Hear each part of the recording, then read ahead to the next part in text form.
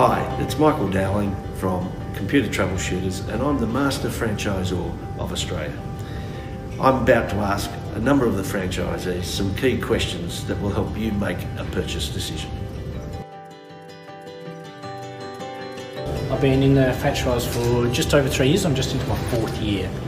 Um, and it's been a, a, very positive experience, I've got to say. I've worked for a million years in the corporate world and coming into the franchise with the support, both through you and the other team members, have been, uh, it's been really good. The reason why I joined, and maybe the reason why you should join, is you can be your own boss. Um, I think in these days we often think about becoming the boss, we often dream about it, but we don't actually act on it. Now it's a perfect opportunity. I had that opportunity and I jumped at it. A lot of uh, training was given as in more as not the technical training, but you know how to run your business mm-hmm. and uh, the, the, brand name mm-hmm. and uh, behind you.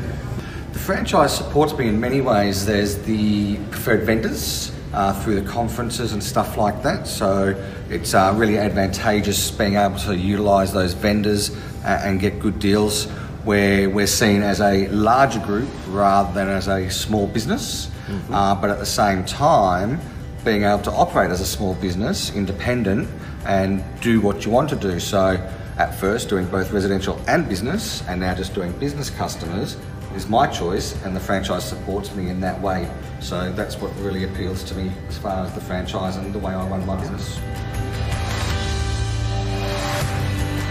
Financially, it's been fantastic.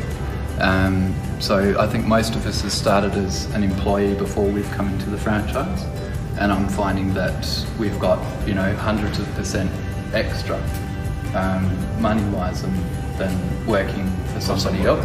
Yeah. Comfortably paying the bills, um, able to employ a young fella, and um, yeah, yeah, finding a bit of time to get out and enjoy things a bit. To get to that stage, whereas I'm comfortable now, you know, my kids are in a private school, uh, that's been paid for through the business. Um, so, you know, I'm happy with where, where it's at. I think you know last year my revenue was down, but my profit was about the same.